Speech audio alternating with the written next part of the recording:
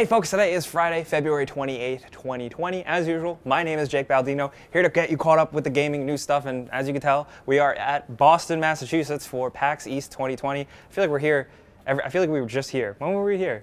This oh, time last year. A year ago, that's right.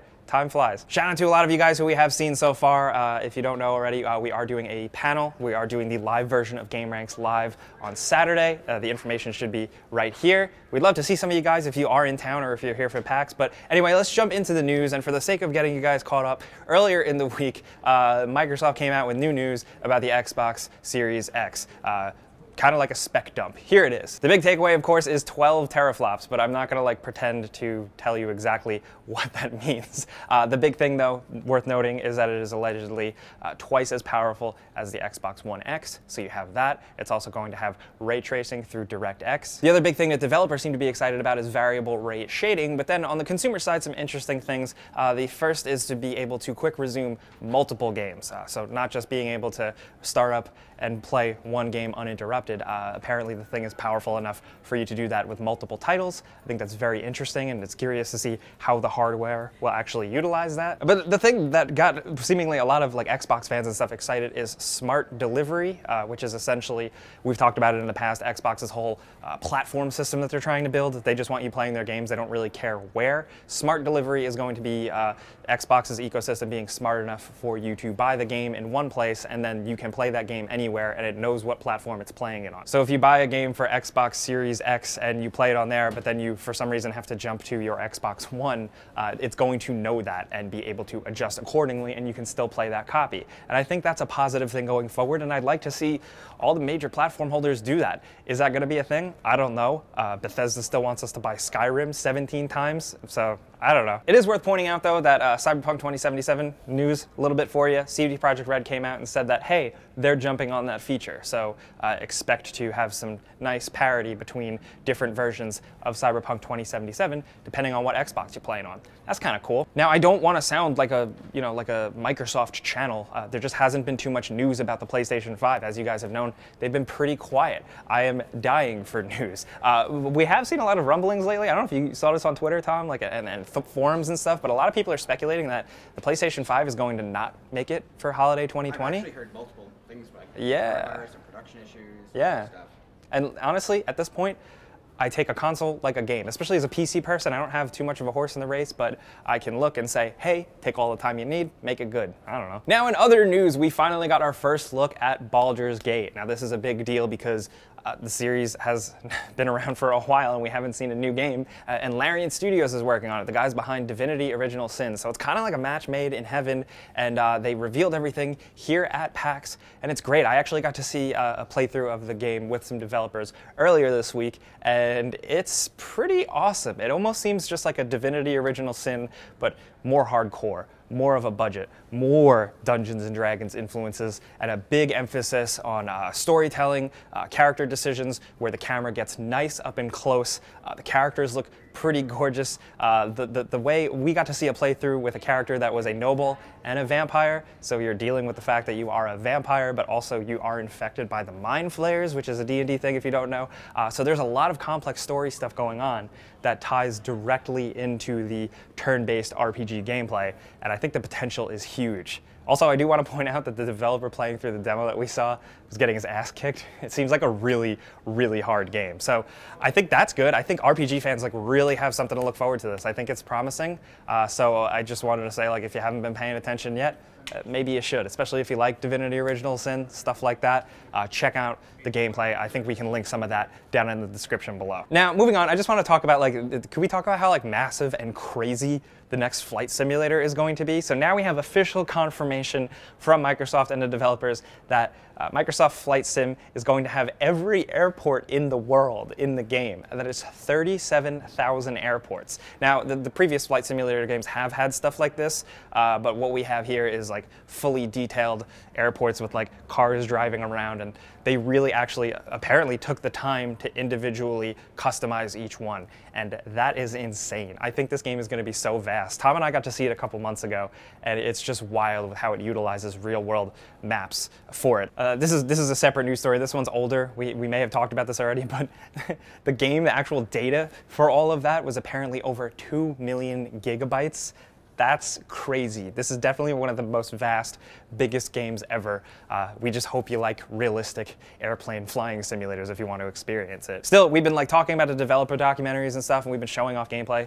Uh, it's it's wild, man. I think it's really impressive what people can do. Also, in other news, hmm, Rockstar seems to be doing something. Uh, it may be small, it may be huge. That's with Rockstar. You have no idea. So if you guys haven't seen, Rockstar has updated some imagery on their website uh, to some really cool stylistic pieces uh, with the logo and stuff like that. And it's leading to speculation that they're, they're going to be announcing something soon. Uh, you can say that with Red Dead Redemption 2, before that was announced, Rockstar also started changing up some of their logos and imagery before then. Uh, there's a lot of speculation. Some people still throw out Grand Theft Auto 6. I don't know if it's that. You could throw out Bully. You could throw out literally everything. You know what? At this point, I'm gonna still throw a gamble for something like Agent because this imagery is very like high class and like bougie and funky. Maybe maybe it's something spy related. I don't know. I am literally pulling at straws. Correct, you're saying agent. Yeah, I still want Agent to be a thing. Leave me alone. I'm very curious to hear what you guys think it is down in the comments. I think we can have a lot of fun with that. Or, or it turns out to be nothing. I don't know. But uh, next, let's break down some things you may have missed during the week. This is all going to be linked down in the description below. Uh, the first is a new trailer for Doom Eternal, a game we're really excited about, although the music in this trailer is kind of whack. Uh, the other thing is a surprise announcement for a Samurai Jack video game, Samurai Jack Battle Through Time. It looks like a 3D action game. Uh, the art style is a very interesting choice, but I'm kind of into it. I don't know. I love Samurai Jack, so I'm all about this. Let's give it a shot. Uh, but the biggest thing, in case you missed it, is Resident Evil 3. Uh, apparently, a bunch of press outlets and YouTubers got to get their hands on the game and play it. Apparently, it's good, uh, but thankfully, what comes with that is a bunch of impressions and also a lot of new gameplay. We got to see the Nemesis in action quite a bit. And it's very interesting how they're doing it, especially if you've played the original game. It seems like he's going to be on your ass a lot more actively in the game.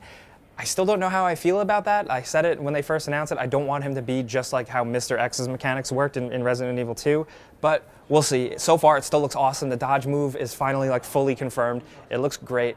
I'm so hyped. But uh, a new story that caught our eye earlier Rainbow Six Siege is doing some interesting things uh, jumping to the next gen. Ubisoft has announced that they are working to have uh, next gen, like next PlayStation, next Xbox versions of Rainbow Six Siege ready for launch. Not only that, complete uh, multiplayer cross generational action so you can just kind of keep playing. We talked about it earlier with, with Xbox, with the buying certain copies of the game.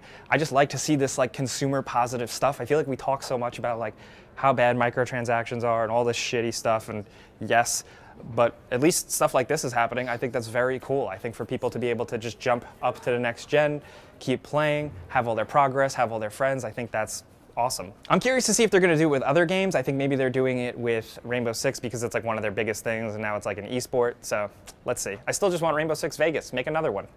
I'm just gonna keep bringing that up in videos because I'm an old man now. Also, I just wanted to point out uh, the creator of the Konami code has passed away. Uh, Konami put out a statement. Uh, the creator of the original up, up, down, down, left, right, left, right, BA, start. And you know, obviously, an incredibly influential code that has helped a lot of people out and also has just kind of spanned multiple video game generations has passed away. So our condolences. Just wanted to highlight that. Just a, a very cool, legendary thing in the game industry. His name was Kazuhisa Hashimoto, if you want to look it up. But uh, yeah, little video game history uh, changes today. Also, one last thing uh, Kojima Productions seemingly may be teasing something. If you caught this on their Twitter account, what is this? A lot of people are freaking out that they are going to be talking about something next week. What is it going to be? Some people are going nuts with the fact that uh, the word silent is in the in the tweet like it's going to be Silent Hills. I don't know. I just hope it's something cool and not just a trailer for Death Stranding on PC. As much as that is exciting, I want to see their next project. I mean, they're, they're riding a high from Death Stranding, so let's see what they got now. I, I have a question. Think it'll happen next week. Yeah. Why next week? Yeah, if you zoom in on his little notepad that he's writing on, it says next week. Oh, so they're, cute. they're definitely being cheeky. I'm very curious to see what it's going to be. So keep your eyes peeled. Maybe we'll make a video. Uh, now, before we go, we got to do that console giveaway we do every single week. You know how this goes down by now. We don't stop when we're at a convention, dude. Uh, linked in the description below. You click it to sign up. You enter once, then you're entered for good. And then every single week, we go in to randomly choose one person to win a free console of their choice. And this week's person is going to be this person right here.